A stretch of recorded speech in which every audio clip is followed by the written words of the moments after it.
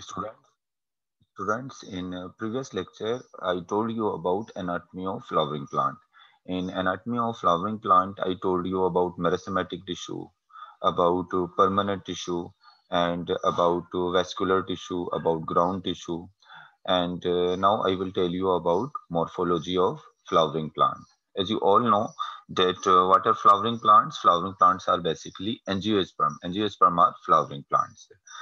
And what is morphology study of external structure external structure की study को हम क्या कहते हैं? इट इज़ कॉल्ड मॉर्फोलॉजी अब देखिए, यहाँ पर मैं एक फ्लावरिंग प्लांट जो है वो ड्रा कर देता हूँ। यहाँ पर एक फ्लावरिंग प्लांट जो है वो ड्रा कर रहा हूँ। तो ये तो इसके हो गया स्टेम ये इस प्लांट का जो अंडरग्राउंड पार्ट है, ये इसकी रूट हो गई। ये इसका रूट हो गई। ये स्टेम है। और यहाँ पर इसके जो है वो ब्रांचेस निकल रही हैं। और इन ब्रांचेस पर क्या है, ये लीव्स हैं। यहीं पर इस पर जो है वो फ्लावर्स भी मौजूद होंगे। चलिए मैं इसको कलर दे देता हूँ।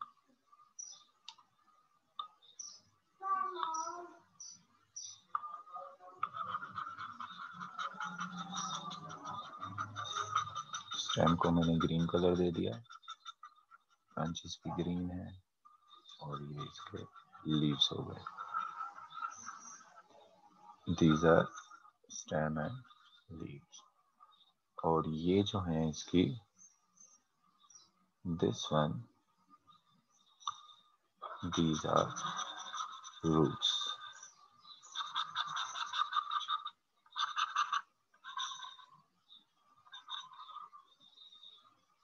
and this one is flower.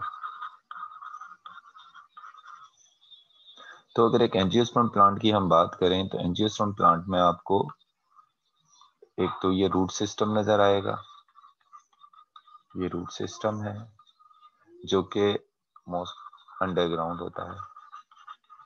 Root system is underground और अबव द ग्राउंड जो होता है, ये जो पूरा सिस्टम है, ये जो पूरा सिस्टम है, ये कौन सा है? ये है शूट सिस्टम लेकिन शूट सिस्टम में क्या आ जाएगा? शूट सिस्टम में एक तो स्टैम ही आ जाएगा। स्टैम या जिसको आप शूट कह लें। और इस पर जो लीव्स लगे हुए हैं, ये लीव्स भी इसी में आ जाएँगे। फ्लावर्स भी इसमें आ जाएँगे। फ्लावर्स भी इसमें आ जाएँगे। फिर फ्लावर्स के अंदर आपको पता है फ्रूट प्रोड्यूस होते हैं। और फ्रूट में सीड्स होते हैं। तो ये सारा जित, ये जितना भी पार्ट है ये तमाम पार्ट जो है वो क्या कहलाएगा? ये कहलाएगा शूट सिस्टम और नीचे वाला जो पार्ट है ये क्या कहलाता है? ये कहलाता है रूट सिस्टम तो इस मॉर्फोलॉजी ऑफ़ फ्लावरिंग प्लांट में या एंजियोस्पर्म की जो मॉर्फोलॉजी है इसमें हम क्या देखने लगे हैं? हम रूट की एक्सटर्नल स्ट्रक्चर देखेंगे. रूट की इंटरनल स्ट्रक्चर हम एनाटमी में देखते हैं. यहाँ पर हम सिर्फ़ क्या देखेंगे? यहाँ पर हम सिर्फ़ इसकी एक्सटर्नल स्ट्रक्चर देखेंगे रूट की. इस, और इसके बाद रूट की टाइप्स देखेंगे रूट के कैरेक्टरिस्टिक्स को हम पढ़ेंगे। इसी तरीके से हम जो है वो स्टेम है स्टेम की टाइप्स देखेंगे स्टेम के कैरेक्टरिस्टिक्स देखेंगे लीव्स के कैरेक्टरिस्टिक देखेंगे लीव्स की टाइप देखेंगे लीव्स के फ़ंक्शन देखेंगे फ्लावर्स देखेंगे फ्लावर की स्ट्रक्चर देखेंगे फ्लावर्स के पार्ट्स के फ़ंक्शन फ्रूट देखेंगे सीड्स देखेंगे। इसके अलावा फ्लावर्स की एक अरेंजमेंट होती है, जिसको हम इन्फ्लोरिसेंस कहते हैं। उस इन्फ्लोरिसेंस को भी हम डिस्कस करेंगे। तो इस लेक्चर में हम ये तमाम चीज़ें डिस्कस करने जा रहे हैं। अब आगे जो मॉर्फोलॉजी ऑफ़ फ्लावरिंग प्लांट्स होगी, उसमें वन बाय वन हम पहले रूट सिस्टम को डिस्कस करेंगे और उसके बाद फिर शूट सिस्टम के डिफरेंट पार्ट्स को डिस्कस करेंगे। अच्छा एक और चीज़ देखें। ये तो मैंने जर्नली इस तरह से भी डिवाइड की, इस तरह से डिवाइड किया है। लेकिन अगर मैं इसको डिवाइड करना चाहूँ प्लांट्स के जो पार्ट्स हैं इनको मैं इस तरह से भी डिवाइड कर सकता हूँ। जैसे ये देखें, मैं इनको प्लांट्स के जो पार्ट्स हैं, ये तो मैंने जर्नली इनकी लोकेशन की बेस पे डिवाइड किया कि जो अंडरग्राउंड सिस्टम है, वो रूट सिस्टम है, और जो ग्राउंड से ऊपर है, उसको हम क्या कह रहे हैं? उसको हम कह रहे हैं शूट सिस्टम लेकिन हम इस तरह से भी डिवाइड कर सकते हैं प्लांट्स के पार्ट्स को। पार्ट्स ऑफ़ फ्लावरिंग प्लांट्स को। एक पार्ट वो होते हैं जिनको हम कहते हैं वेजिटेटिव पार्ट वेजिटेटिव पार्ट जिनका काम ग्रोथ और न्यूट्रिशन का होता है। जो ग्रोथ करने में हेल्प करते हैं और साथ में न्यूट्रिशन को एब्जॉर्व करने में या फ़ूड को प्रिपेयर करने में जो है वो हेल्प करते हैं। तो वेजिटेटिव पार्ट के अंदर आ जाता है रूट स्टेम एंड लीव्स तो ये root and this stem and this leaves they are the vegetative part. Now, second one is reproductive part. Which take part in? Reproduction, especially in sexual reproduction तो reproduction specially जो sexual reproduction में take part करते हैं, वो क्या है? वो है फ्लावर तो फ्लावर फ्लावर ही से फ्रूट भी बन रहा है और फ्लावर से सीड प्रोड्यूस हो रहे हैं फ्लावर के कार्पल से फीमेल रिप्रोडक्टिव पार्ट कार्पल से। तो ये फ्लावर फ्रूट और seed these are the reproductive parts what are these these are reproductive part तो वेजिट सबसे पहले हम वेजिटेटिव पार्ट्स को डिस्कस करते हैं। उसके बाद फिर किसको डिस्कस करेंगे? उसके बाद हम स्टार्ट करेंगे रिप्रोडक्टिव पार्ट्स को। तो चलिए स्टार्ट करते हैं वेजिटेटिव पार्ट से।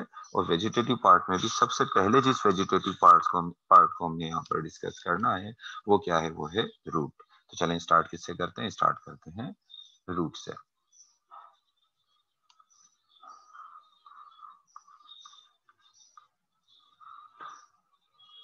तो सबसे पहले तो जो है वो हम देख लेते हैं कैरेक्टरिस्टिक्स ऑफ़ रूट सबसे पहले बात कर लेते हैं characteristics of root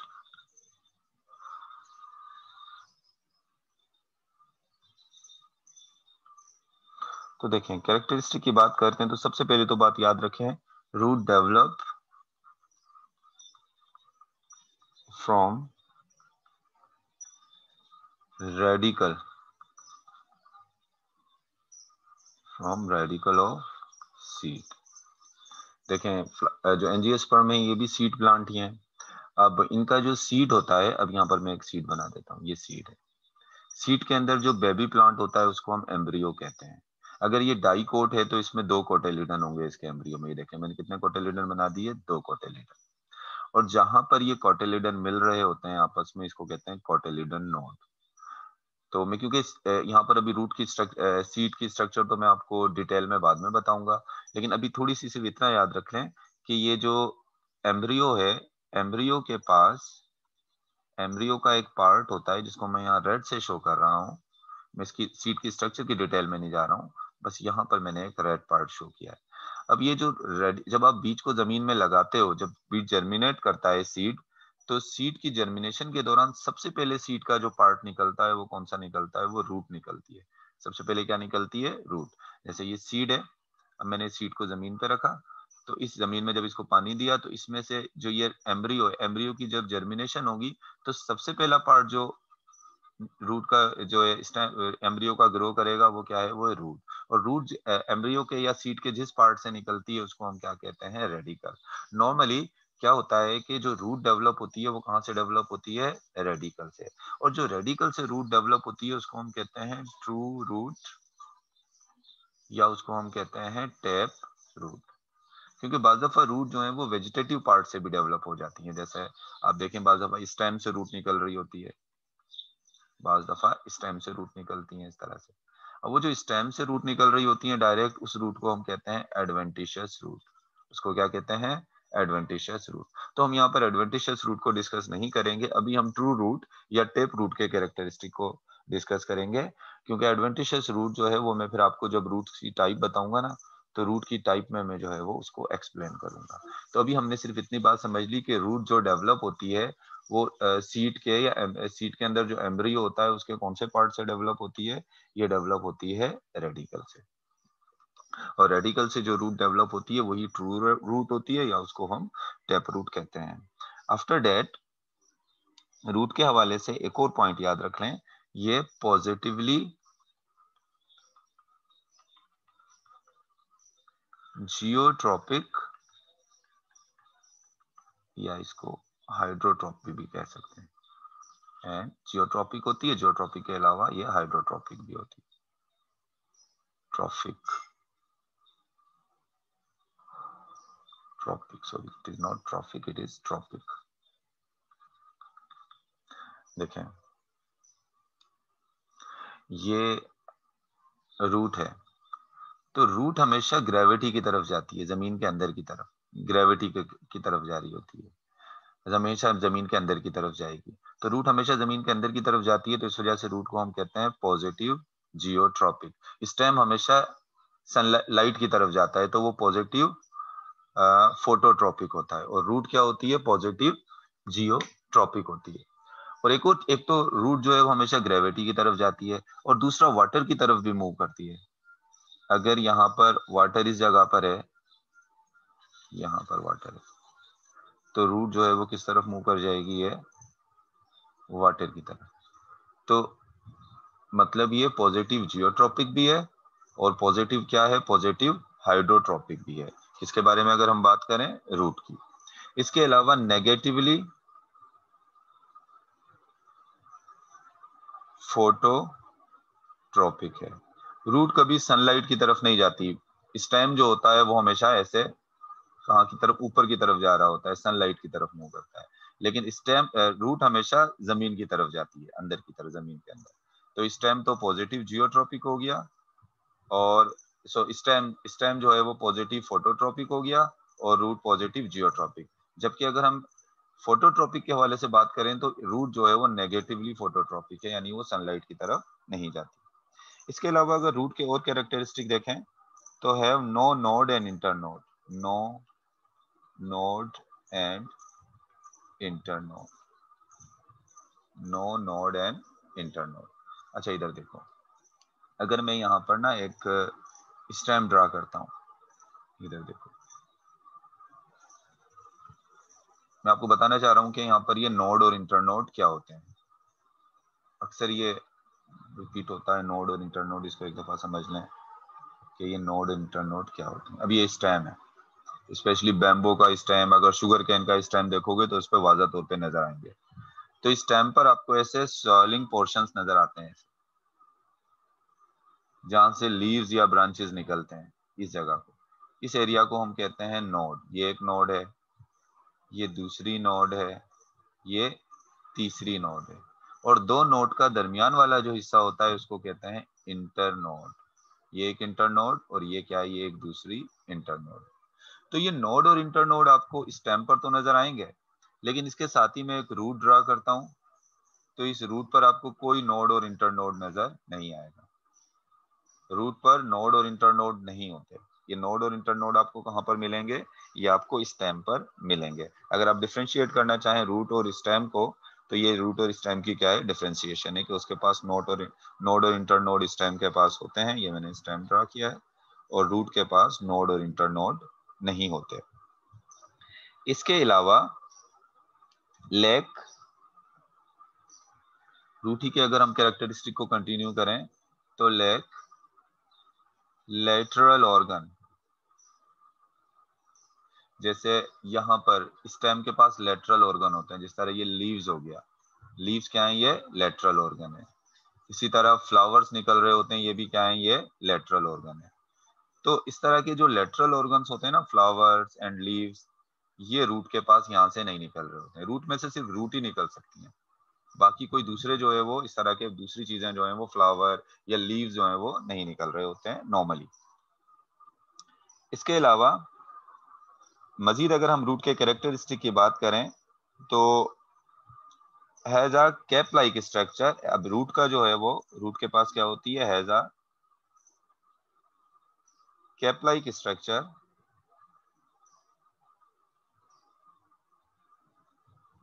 at its apex has a cap-like structure at its, ap at its apex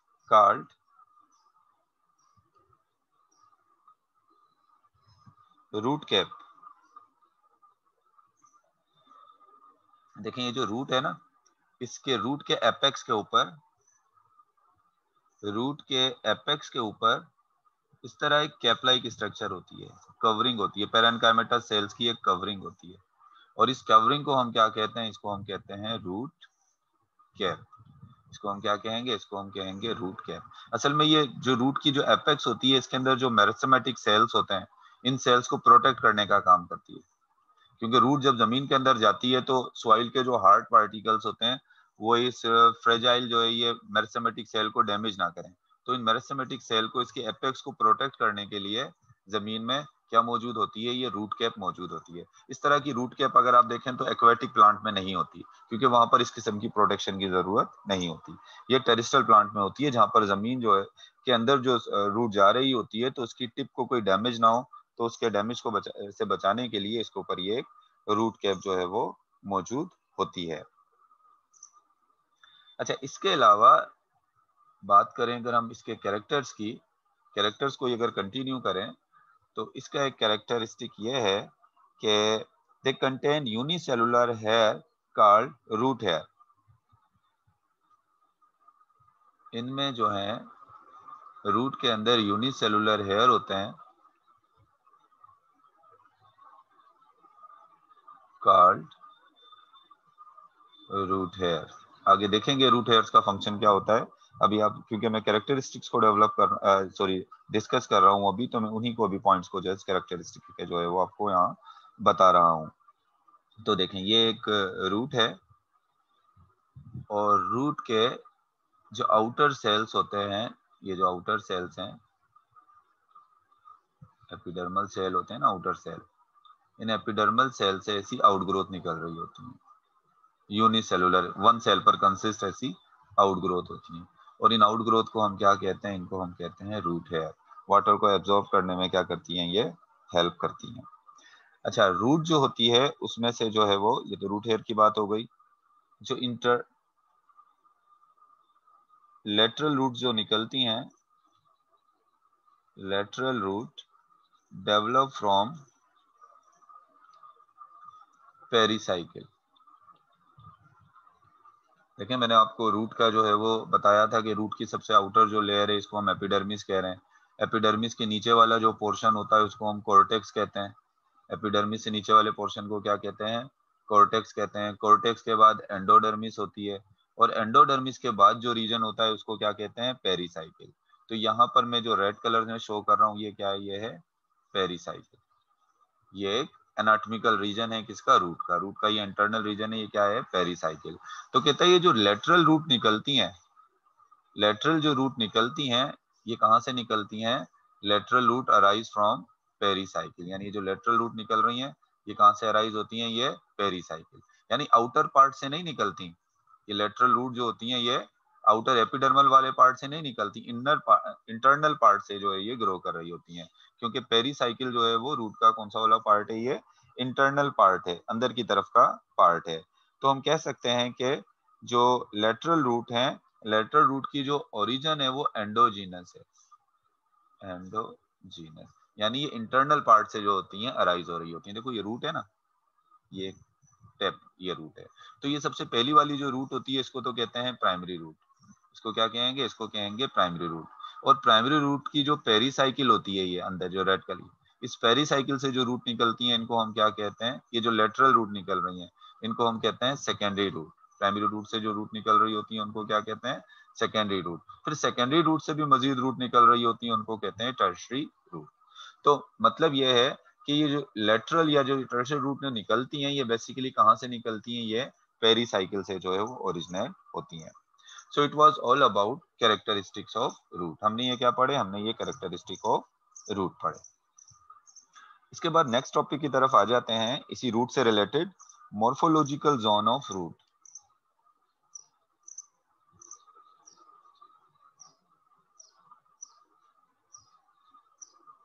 morphological zones of root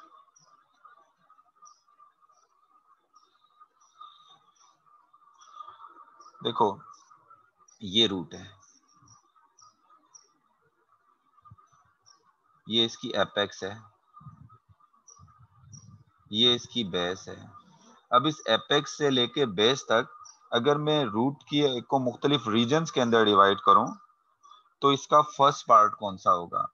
तो जो फ़र्स्ट पार्ट होगा, उसको हम कहेंगे रूट कैप फ़र्स्ट पार्ट को क्या कहेंगे? उसको कहेंगे रूट कैप रूट कैप के लिए एक और टर्म हम इस्तेमाल करते हैं, इसको हम कैलेप्ट्रा भी कहते हैं। इसको हम क्या कहते हैं? कैलेप्ट्रा भी कहते हैं। तो रूट कैप बेसिकली है क्या? ये cap like structure it is a cap like structure covered the the apex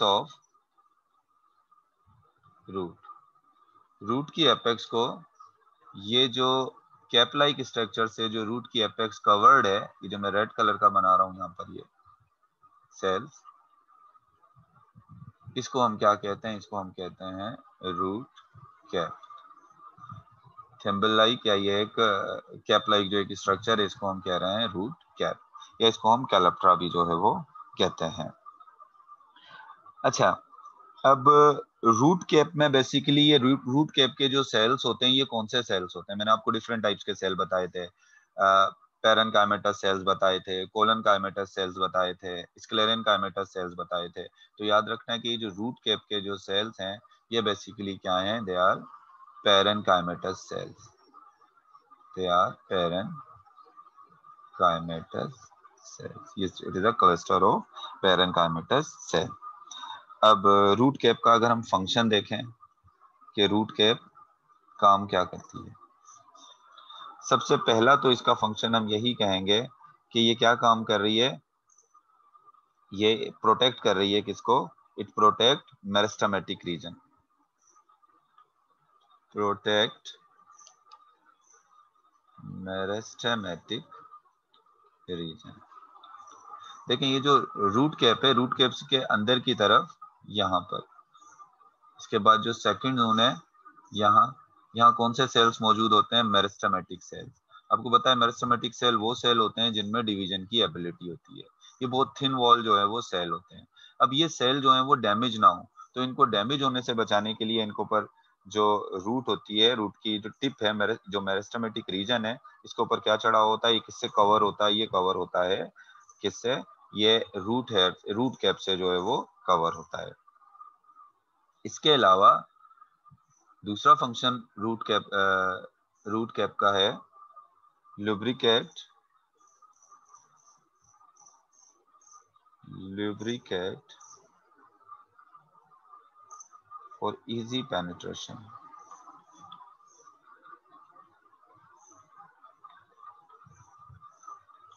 into soil जो रूट कैप के सेल्स हैं पेरन का सेल एक ये म्यूसिलोजिनस मटेरियल सिक्रिएट करते हैं, जिसकी वजह से ये रूट के की जो टिप होती है, वो थोड़ी लुब्रिकेट हो जाती है मॉइस्ट हो जाती है, और मॉइस्ट होने की वजह से वो आराम से पेनाट्रेट कर जाती है। रूट को जब सॉइल में पेनाट्रेट करना होता है तो यहाँ से थोड़ी सी मॉइस्ट होती है।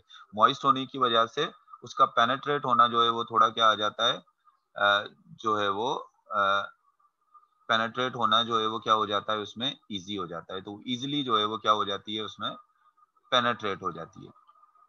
तो मैंने आपको क्या बताया कि हम लोग क्या, किस चीज़ को डिस्कस कर रहे हैं? हम डिस्कस कर रहे हैं morphology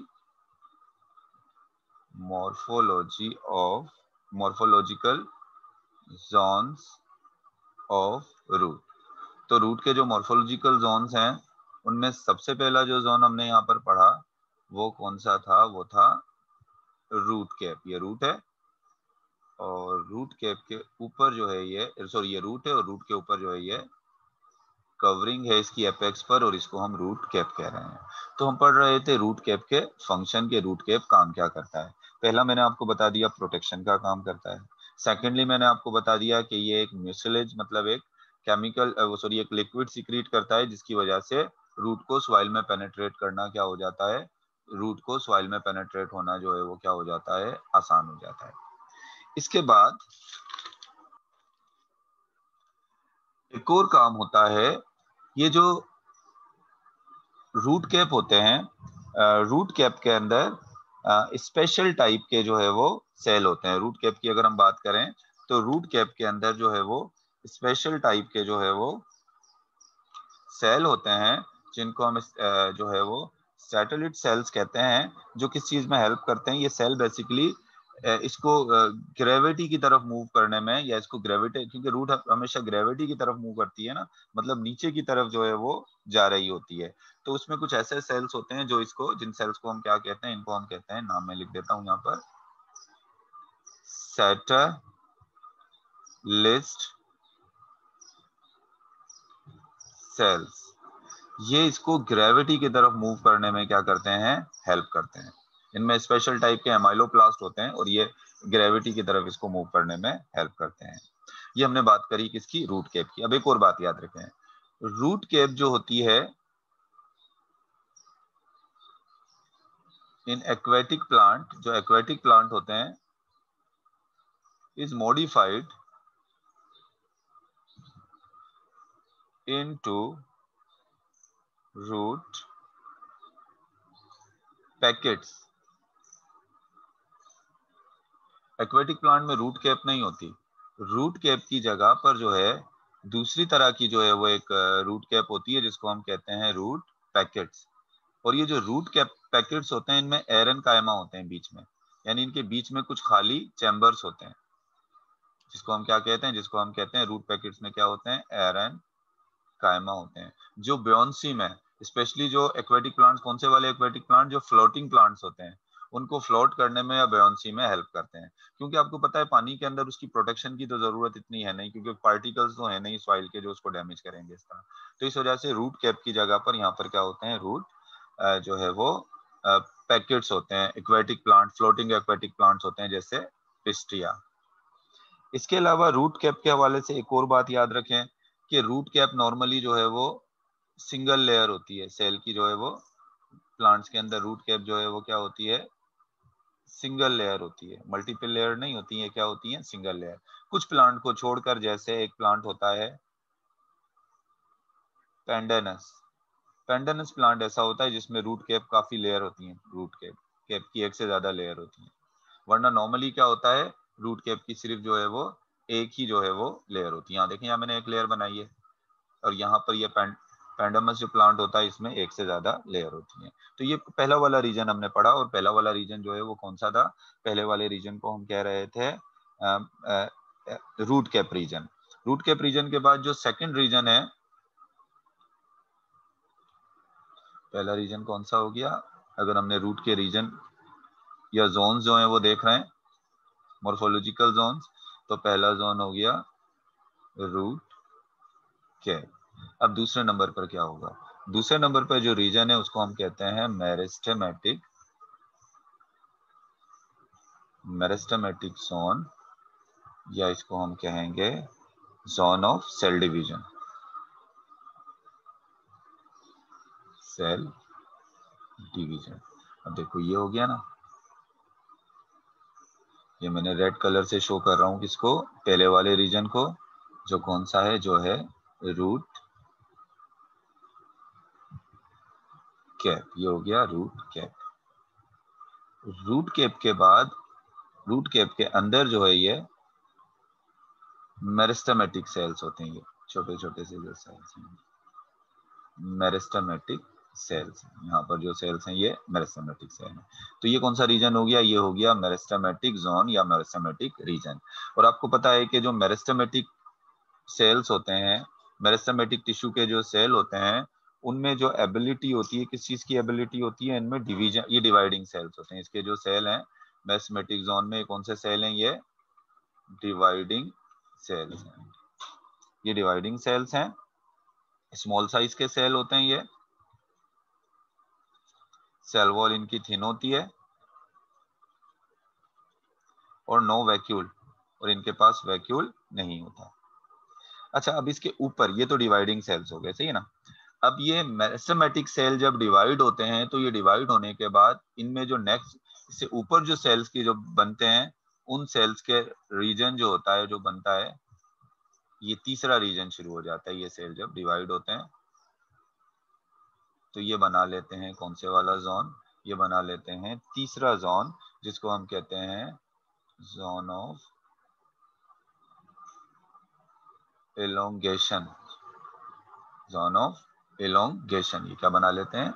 ये बना लेते हैं जोन ऑफ़ इलोंगेशन ये देखें, ये है जोन ऑफ़ इलोंगेशन अब जोन ऑफ़ इलेंगेशन में बेसिकली क्या हुआ कि मेरिस्टेमेटिक सेल के पास तो वैक्यूल नहीं था, लेकिन ये जो जोन ऑफ़ इलोंगेशन में जो सेल है, इनके पास एक लार्ज वैक्यूल आ गया। तो हैव वैक्यूल इनके पास वैक्यूल होता है। उस वैक्यूल में जब पानी बहुत ज़्यादा जमा हो जाता है तो ये सेल क्या हो जाते हैं? इलोंगेट हो जाते हैं। तो ये हो गया जोन ऑफ़ इलोंगेशन फिर लास्ट वाला जो जोन है उसको हम क्या कहेंगे? उसको हम कहेंगे जोन ऑफ़ मैचुरेशन और डिफ्रेंसिएशन अब आप देखो मेरेसेमेटिक के सेल तमाम एक जैसे हैं, इनको आप डिफ्रेंशिएट नहीं कर सकते। इलोंगेशन सेल के, ये रीजन के सेल भी तमाम एक जैसे हैं, आप इनको डिफ्रेंशिएट नहीं कर सकते हो। लेकिन यहाँ पर ये जो इलोंगेटेड जोन है, वो आगे चलकर क्या बना लेता है? आगे चलकर इसके सेल डिफ्रेंशिएट हो जाते हैं। कुछ सेल एपिडर्मिस बना लेते हैं मतलब पैरनकाइमा सेल्स और कुछ जो है वो कॉर्टेक्स के के रीजन बना लेते हैं कॉर्टेक्स के सेल कुछ ट्रेकिड्स बना लेते हैं, कुछ वेसल्स बना लेते हैं। तो यहाँ पर सेल जो है वो क्या हो जाते हैं? डिफ्रेंशिएट हो जाते हैं। तो इस रीजन को जहाँ पर सेल डिफ्रेंशिएट हो जाते हैं, इसको कहते हैं जोन ऑफ़ मैचुरेशन या जोन ऑफ़ डिफ्रेंसिएशन अब इस जोन ऑफ़ मैचुरेशन में या जोन ऑफ़ डिफ्रेंसिएशन के जो एपिडर्मल सेल होते हैं, इनमें से हेयर लाइक स्ट्रक्चर निकल रही होती हैं, जिनको हम कहते हैं रूट हेयर जिनको हम क्या कहते हैं रूट हेयर क्योंकि इनमें रूट हेयर होती हैं तो इस रीजन को हम क्या कह सकते हैं? रूट हेयर रीजन भी कहते हैं। वैसे आपको है कि रूट हेयर जो है वो कहाँ से निकलती हैं? एपिडर्मल सेल से ही निकलती हैं। कहाँ से निकलती हैं? एपिडर्मल सेल से निकलती हैं। लेकिन ऐसे एपिडर्मल सेल जिनसे रूट हेयर निकल रही होती हैं, उनके लिए हम एक स्पेशल टर्म इस्तेमाल करते हैं, और वो है ट्राइको ब्लास्ट तो ट्राइकोब्लास्ट क्या है? Root hair producing cell cell that produce root hair मतलब आप देखें, इस इस सेल को जो ये रूट हेयर प्रोड्यूस कर रहा है, मैं इसको ट्राइकोब्लास्ट कहूँगा, इसको नहीं कहूँगा क्योंकि इसमें से रूट हेयर नहीं निकल रही। Root hair basically surface area बढ़ा देती है वाटर की एब्जॉर्प्शन के लिए। सरफेस एरिया को बढ़ा देती हैं वाटर के एब्जॉर्प्शन के लिए। कौन काम करती हैं? रूट हेयर पहले तो पानी सिर्फ़ यहाँ से एब्जॉर्ब होता है ना, आप देखें, यहाँ से चारों तरफ़ से एब्जॉर्ब यहाँ से हो सकता है। तो ये सरफेस एरिया इंक्रीज कर दिया किसने? रूट हेयर ने वाटर की एब्जॉर्प्शन का। तो ये हमने जो है वो आज जो पढ़ा आज का जो टॉपिक है इसको मैं थोड़ा सा रिवाइज कर देता हूँ। तो मैंने यहाँ पर सम अप कर लेते हैं इसको। तो today I told you about morphology of flowering plant and I told you that there are different parts of flowering plants and uh, one is uh, underground part which root system and other one is uh, the part which is above the ground which is called shoot system in shoot system stem leaves, flower, and fruit. They are all they, they all are included in which system? They all included in uh, shoot system. We can also divide uh, uh, flowering plants into two part. One is vegetative part, and other one is uh, reproductive part. So root, stem, and uh, leaves they included in vegetative part, and flower, fruit, and seed they were included in in uh, uh, reproductive parts. After that, uh, I told you about characteristics of root that I have told you that root develop from radical and root has no node and internode. It is positive geotropic and uh, it has uh, no lateral organ just like flower and leaves and uh, root is covered by a root cap and lateral roots arise from pericycle after that, I told you about uh, morphological zones of root from apex to base. These morphological zones we have discussed about uh, root cap, about meristematic zone, zone of uh, elongation, zones of maturation. इन तमाम चीज़ों को हमने discuss किया next time फिर हम types of root देखेंगे और टाइप्स ऑफ़ रूट और उनके स्पेशल जो है वो रूट्स के फिर हम फ़ंक्शंस को भी डिस्कस करेंगे और उन रूट्स में कौन कौन सी मॉडिफिकेशन होती है।